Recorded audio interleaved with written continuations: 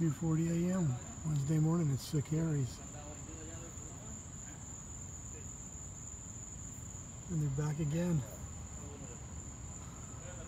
Right across from residence homes and bedrooms, courtesy of Coral Gables City Hall. The Gables Standard is 24-7, 365 day a year neighborhood menace. Screw the residents. Screw the neighbors. It's the sick Harry, sick Gables disease. Anything goes here. Anything. No matter who it's gonna sucker through our neighbor dies. The Gables way.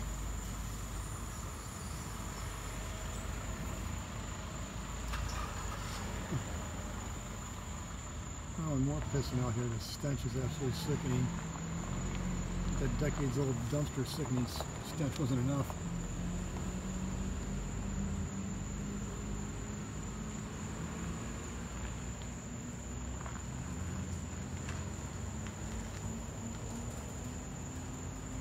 Obnoxious, sickening, disgusting, pissing, dumping, swirling, blasting, blowing, honking, slamming, banging, incessant, inescapable Harry's, the Gable Standard, and the Coral Gables City Dub. Anything for the money.